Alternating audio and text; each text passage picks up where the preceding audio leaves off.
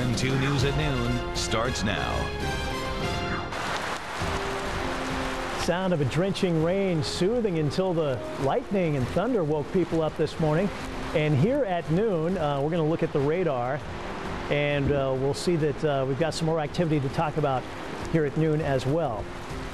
Uh, before we do that, we do have a school alert to pass along. A power outage has forced the Inchelium School District to close early right here at noon today. So the district trying to make sure all those children and parents have a plan to get them home early. Once again, the Inchelium School District out early here at noon because of a power outage.